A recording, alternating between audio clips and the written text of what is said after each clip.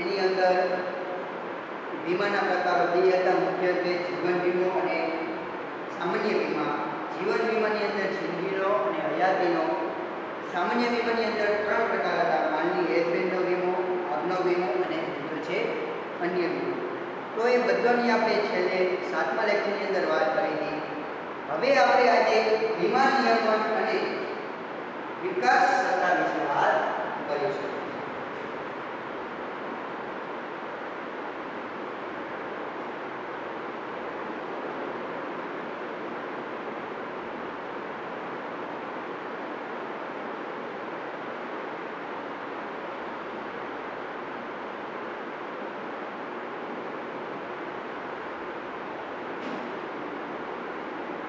વીમા નિયમન અને વિકાસ તો વીમા નિયમન અને વિકાસ સત્તાએ ભારતની સર્વોચ્ચ સેવાયા કાયદાકીય સંસ્થા તરીકે ઓળખવામાં આવે છે. જે વીમા ક્ષેત્રના નિયમન અને વિકાસનું કાર્ય સંભાળે છે આઈઆરપીએ એ ઓગણીસો નવ્વાણું દ્વારા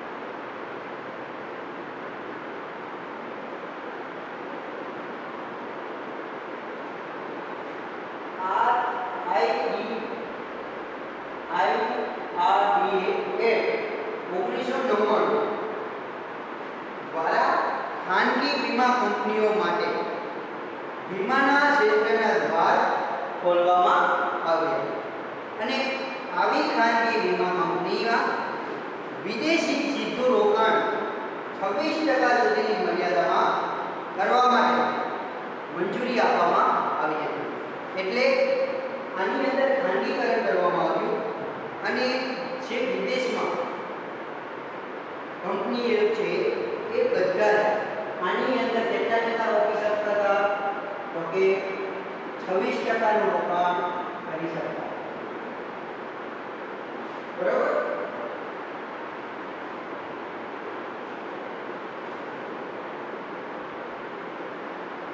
જે વર્ષ બે હજાર પંદરમાં ઓગણીસો નવ્વાણુંની અંદર છવ્વીસ ટકા રોકાણ કરી શકતા હતા ઓછામાં ઓછું મર્યાદામાં પછી બે હજાર પંદરમાં બે હજાર પંદરમાં વધારીને છવ્વીસ ટકા હતું એમાંથી પ્લસ કેટલું ઓગણ ટકા ટકા રોકાણ કરી શકાય.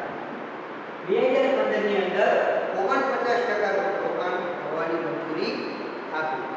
આમ વિદેશી વીમા કંપનીઓ ભારતમાં વીમા કંપનીઓનું સીધે સીધું ઓગણપચાસ ટકા રોકાણ કરી શકે છે. પેડાના મુખ્ય ઉદ્દેશો વીમાધારકને વધુ પસંદગી મળે બીજું છે, વીમા કંપનીઓ વચ્ચે તંદુરસ્ત સ્પર્ધા દ્વારા ઓછા પ્રીમિયમે વધુ સેવા મળે. બીજું છે, અર્થતંત્ર માટે ભંડોળ મેળવવા હોતું છે વીમા કંપનીઓના સ્વનિયંત્રણ લાવવા માટે પાંચમું છે ફરિયાદ નિવારણ તંત્રની વ્યવસ્થા કરવા માટે બરોબર તો આમ આ વીમા નિયમન અને વિકાસ સત્તા હવે આપણે જોવાનું છે ટપાલ સેવાઓ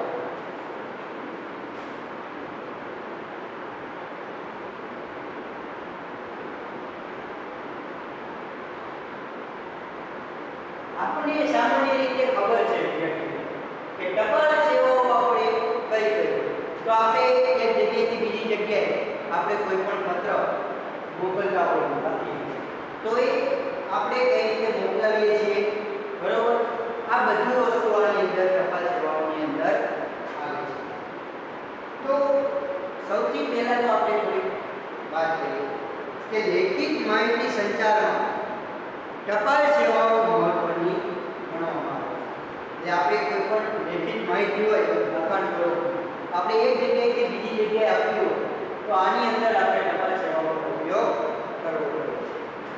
ટપાલ સેવા દ્વારા માહિતી જે હોય છે, એ આપણે એક જગ્યાએથી બીજી જગ્યાએ મોકલી શકીએ છીએ. અને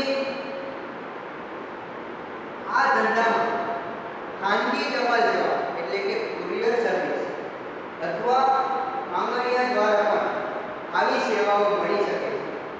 અને ભારત સરકારના ટપાલ ખાતા દ્વારા પણ આવી સેવાઓ વ્યક્તિને અને ધંધાકીય એકમને મળી શકે છે એકસો પચાસ કરતાં વધુ વર્ષોથી ભારતીય ટપાલ ખાતું દેશમાં માહિતી સંચારની સેવાઓ પૂરી પાડતું નોર્મલ આપવામાં આવે છે. એટલે કે એકસો પચાસ કરતાં વધુ વર્ષથી આ ટપાલ સેવા જે હતી એ ખાતું ખોલી દેશમાં એક જગ્યાએથી જગ્યાએ માહિતીની આપલે કરે છે.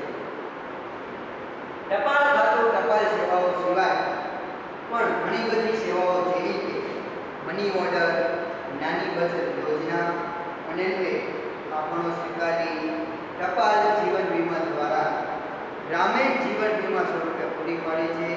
આ ઉપરાંત તે બીજી ઘણી સેવાઓ જેવી કે કેટલાક મ્યુચ્યુઅલ ફંડમાં રોકાણ, ભારત સરકારી ઘણી બધી યોજનાઓ માટે પ્રતિનિધિની સેવા આપવું હોય છે.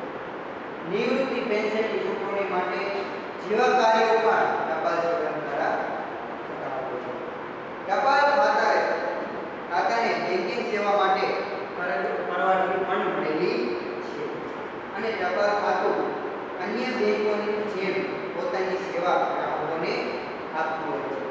ટપાલ ખાતું દોઢ લાખ કરતાં પણ વધુ પોસ્ટ ઓફિસ ભારતમાં આવેલી છે જેમાંથી આશરે નેવું ટકા જેટલી પોસ્ટ ઓફિસ ગ્રામીણ વિસ્તારોમાં જોવા મળતી હોય છે. હવે સૌથી પહેલાં આપણે જોઈશું કે સામાન્ય ટપાલ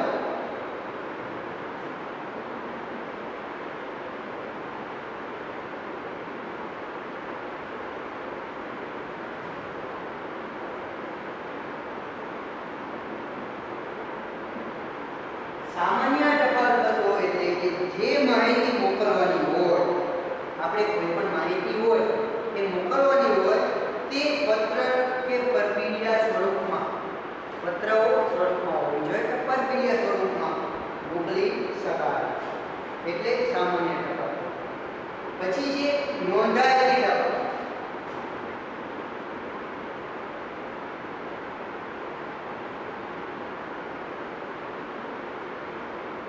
નોંધાયેલી ટપાલ એટલે શું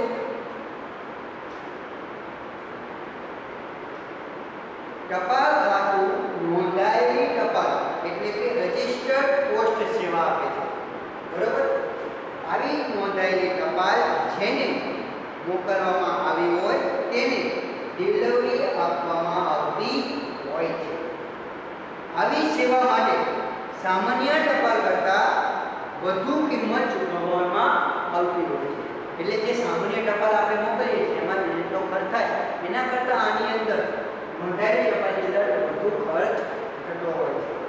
જો મોકલનારે નોંધાયેલી ટપાલ મોકલે વ્યક્તિને મળી છે, તેના પુરાવા સ્વરૂપે તેની સહી માન્ય કરવામાં આવતી હોય છે. તેને સ્વીકૃતિ મેળવવાની થોડી વધારે રકમ ચૂકવવામાં આવતી હોય છે. એટલે જે નોંધાયેલી ટપાલ હોય છે એની અંદર ખર્ચ વધારે અને જે મેળવનાર વ્યક્તિ હોય, એને પણ વધારે રકમ ચૂકવવી પડતી હોય છે. પછી છે પાર્સલ સેવા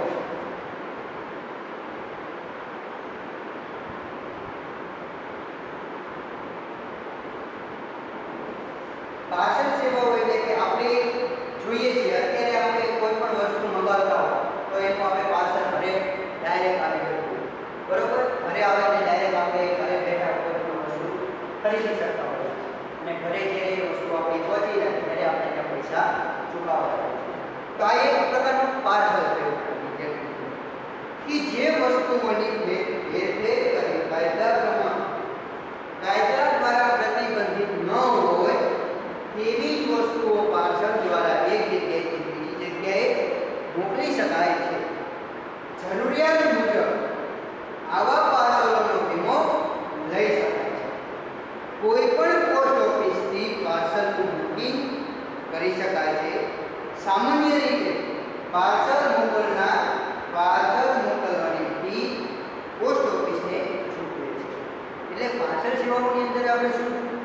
તો કે એક જગ્યાએથી આપણે બીજી જગ્યાએ કાયદા પ્રબંધિત જે ન હોય, તે બધી જ વસ્તુઓ પાર્સલ દ્વારા એક જગ્યાએથી બીજી જગ્યાએ આપણે મોકલી શકીએ છીએ.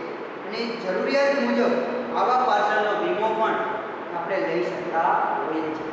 કદાચ ભવિષ્યમાં એવું ક્યારેક બને કે આપણે વસ્તુ મોકલાવી, એ વસ્તુ આપણા સુધી ન પહોંચે, અથવા કોઈ કારણોસર એ વસ્તુ નાશ થઈ તો શું તો એના માટે આપણે વીમો ઉતરાવવો જોઈએ. જો વીમો ઉતરાયેલો હોય, તો એના બદલામાં આપણને વળતર મળી રહે. કોઈ પણ પોસ્ટ ઓફિસથી પાર્સલનું બુકિંગ આપણે કરી શકાય છે.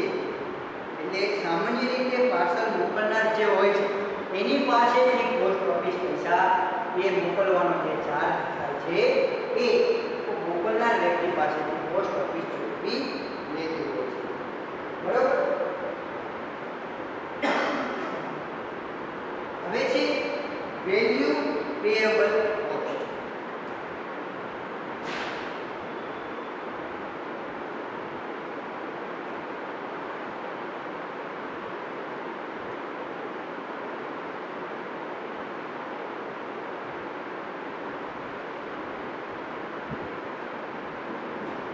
વેલ્યુ એક તો કે ઉત્પાદક કે વેપારી ગ્રાહકના ઓર્ડર પ્રમાણે પાર્સલથી ટપાલ ખાતા દ્વારા મોકલે છે.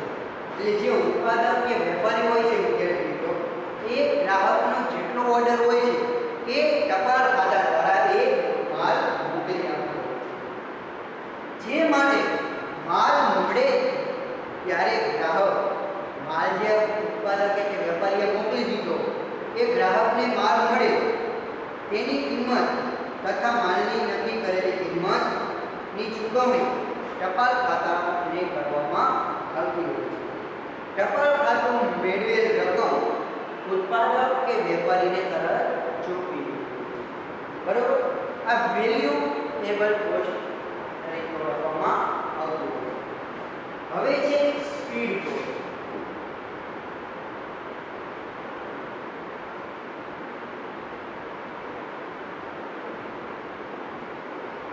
અથવા પાર્સલ સ્પીડ કોસ્ટની અંદર આપણે જોઈએ છીએ કે આપણે કોઈ ઇમરજન્સી તાત્કાલિક એક જગ્યાએથી આપણે બીજી જગ્યાએ માલ મોકલવો તો આપણે એની અંદર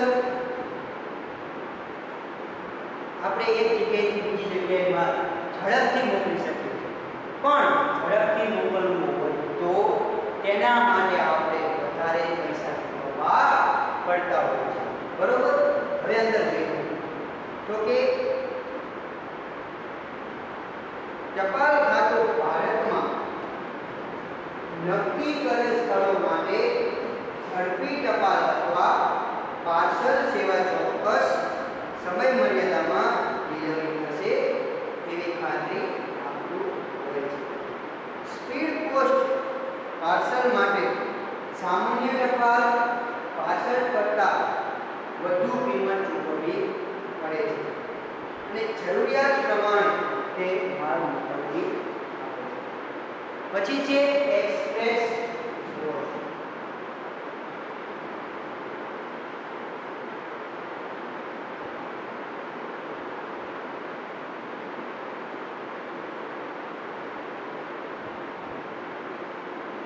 એક્સપ્રેસ પાર્સલ તો એક્સપ્રેસ પાર્સલ એટલે આપણે જોઈએ છીએ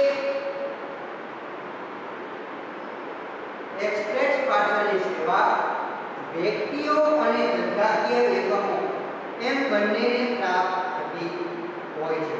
એક્સપ્રેસ પાર્સલ નક્કી કરેલી સમય મર્યાદામાં ખૂબ જ ઝડપથી પહોંચાડી શકાય છે. ટપાલ ખર્ચ આના માટે હવાઈ માર્ગ અથવા સૌથી ઝડપી મળે તેવા માલ મોકલે માર્ગે મોકલતું હોય છે. સ્પીડ પાર્સલ કરતાં પણ આની ફી વધુ હોય છે.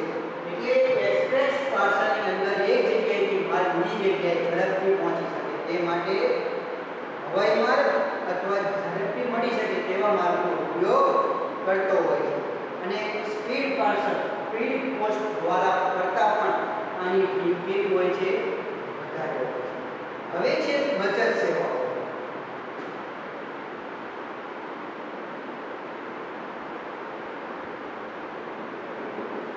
બચત સેવાઓ એટલે કે ટપાલ ખાતું બેંકની મારફત બચતકારોને વિવિધ પ્રકારની સેવાઓ પૂરી પાડતું હોય છે બચત ખાતું પાંચ વર્ષીય રિકરિંગ ડિપોઝિટ સમય આધારિત માનસિક આવક યોજના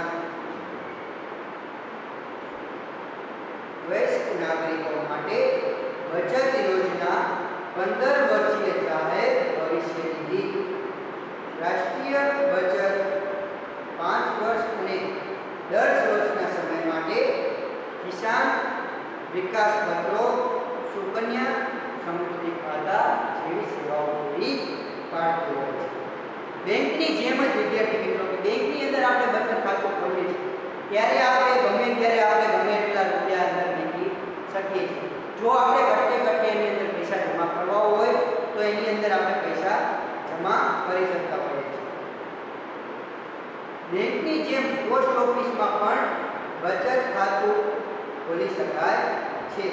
જે માટે ચેકબુક પણ મળે છે અને હવે એટીએમ કાર્ડ પણ મળતું, મળવાની સગવડ કરી આપે છે. બરોબર? તો આ આપણું બચત હવે છે રિકરિંગ ડિપોઝિટ ખાતું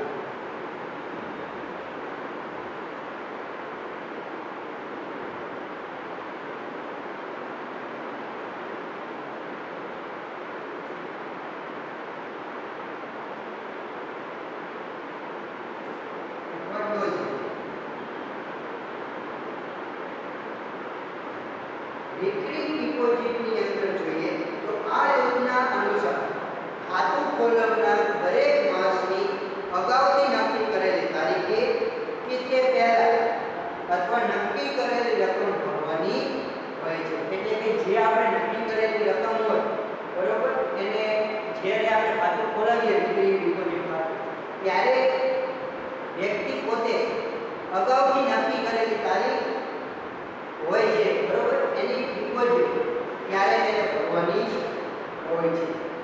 અને પાંચ વર્ષ આ ખાતું પાકતા નક્કી કરેલ વ્યાજ સહિત આ રકમનું ખાતું ખોલનારે ફરજ હોય છે. પાંચ વર્ષનો સમયગાળો હોય છે અંદર પાંચ વર્ષના સમયગાળા પછી જરૂર હોય તો બીજા પાંચ વર્ષ માટે આ ખાતાની અવધિ લંબાવી શકાય. એટલે આ ખાતું જે છે રિકરિંગ ડિપોઝિટ ખાતું, તેની અંદર પાંચ વર્ષ ફિક્સ આપણે પૈસા મૂકવા, બચત કરવામાં આવતી હોય છે. પાંચ વર્ષ સુધી આપણે આની અંદર પૈસા બચત મૂકતા નથી.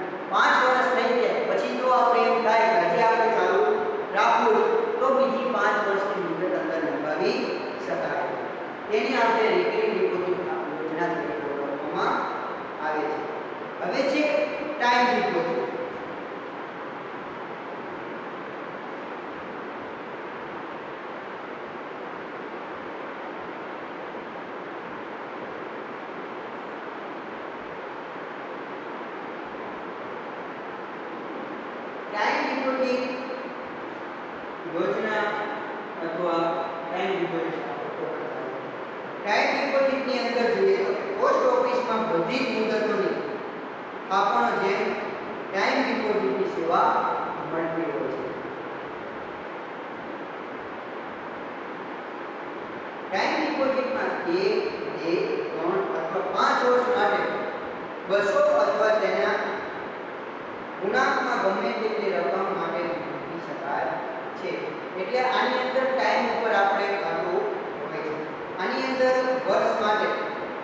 બસો અથવા તેના ગુણાંકમાં ગમે બસો રૂપિયા બસો રૂપિયા મેળવી શકાય, ચારસો રૂપિયા મેળવી શકાય, પાંચસો રૂપિયા મેળવી શકાય, છસો રૂપિયા મેળવી શકાય.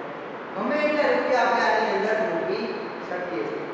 વ્યાજની ગણતરી દર ત્રણ માસે કરવામાં આવતી હોય છે. પરંતુ વ્યાજની ચૂકવણી વાર્ષિક ધોરણે થતી હોય છે. એટલે આની અંદર વ્યાજની ગણતરી ત્રણ માસે કરવામાં આવે છે. પરંતુ વ્યાજ આપણને જ્યારે ચૂકવે છે, એ વર્ષના દરમિયાન ચૂકવવામાં આવતું હોય છે. એક પોસ્ટ ઓફિસમાંથી બીજી પોસ્ટ ઓફિસમાં આવું ખાતું ફેરબદલી કરી શકાય છે. જો ટાઈમ ડિપોઝિટ ખાતું હોય, તો આપણે એક બેંકમાંથી બીજી બેંકમાં આપણે ખાતું ફેરબદલી અથવા ટ્રાન્સફર કરી શકાય છે. આવું ખાતું ખોલાવ્યા પછી એ પાકે તે પહેલા અથવા ગમે ત્યારે બંધ પણ કરી શકાય છે. આને આપણે ટાઈમ ડિપોઝિટ ખાતું કહેવામાં આવે છે. હવે છે રાષ્ટ્રીય બચત પત્ર.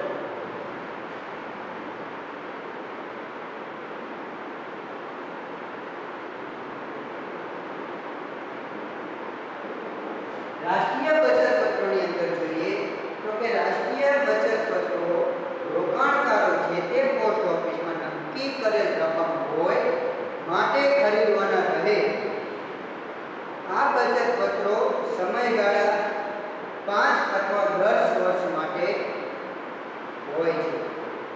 ટપાલ ખાતું અગાઉથી વ્યાજના દર મહિને માહિતી આપતું હોય છે આવા બચત પત્રોને પાંચ અથવા દસ વર્ષ સમયગાળા પૂરો થતા જરૂરિયાત જરૂરી જે પ્રક્રિયા હોય છે એ પ્રક્રિયા કરીને પોસ્ટ ઓફિસમાંથી પરિપક્વતાની રકમ મેળવી શકાય છે એટલે રાષ્ટ્રીય બચત પત્રોની અંદર વિદ્યાર્થી મિત્રો કે જ્યારે પોસ્ટ ઓફિસે નક્કી કરેલ રકમ હોય તે રકમ આપણે ટાઈમે ભરવી પડે છે અને પાંચ વર્ષ અથવા દસ વર્ષના સમયની અંતે ટપાલ ખાતું આપણને અગાઉથી માહિતી આપણને આપતું હોય છે. અને પાંચ અથવા દસ વર્ષનો સમયગાળો પૂરો થાય ત્યાર પછી જરૂરી પ્રક્રિયા હોય છે. તે પ્રક્રિયા કરીને આપણને તે રકમ આપતું હોય છે. બરોબર? હવે પછી ઘણા બધા છે. એ બધું આપણે આના પછી નવમા તાસની અંદર જોઈશું. તો આજે આપણે અહીં સુધી રાખશું. વિદ્યાર્થી મિત્રો, અસ્તુ.